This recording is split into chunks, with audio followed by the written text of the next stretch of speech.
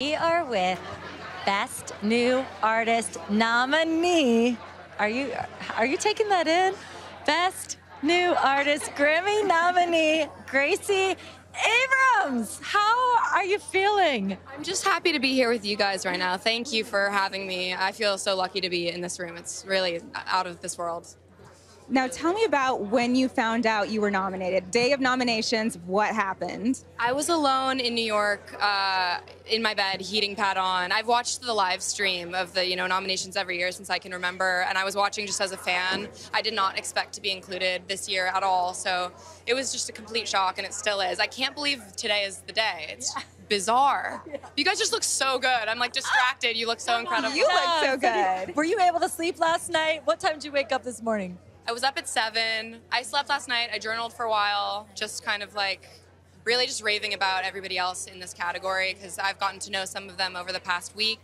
Um, and they are so extraordinary and they're such true artists and it's kind of like restored my faith in like this industry a little bit because it's so isolating typically and to get to connect with them has really just been such a privilege and i'm just really grateful to be able to be in the room to scream for them tonight. Yeah you're there with your peers. Now how does it feel to be nominated by your peers? It's such an honor. Um, i think i've been trying to wrap my head around the fact that that's a real thing. Um, i feel so lucky to have learned from so many people that are a part of the academy. I've I've grown up just admiring everybody who has been on the Grammy stage before, been in the room, and and um, so I just I can't quite believe it. Yeah, it's a real pinch me moment. Amazing. Gracie, who inspires you? Your music is so beautiful. Like, what gets you going?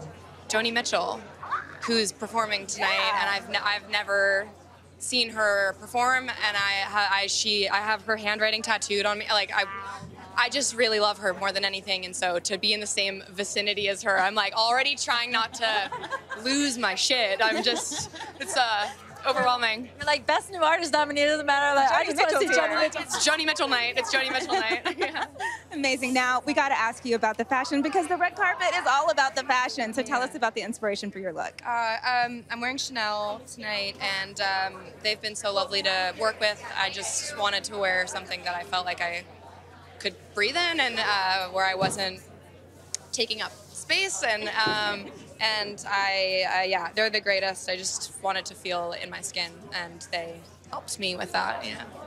Gracie, quickly, what was like favorite moment so far of this whole Grammy week? Because it's you know ending tonight. So what's your favorite moment so far?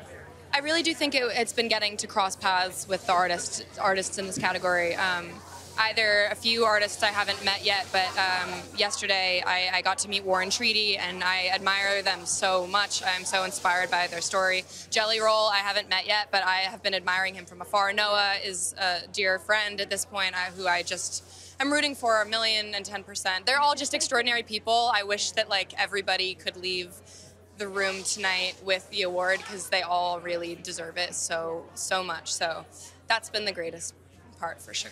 It's an awesome it. category. You deserve to be in it. Yeah. Congratulations. We're rooting for you. Yes, have a great night. You're doing amazing. Thank you. Thank you. Thanks, Gracie. Best of luck. We'll see you.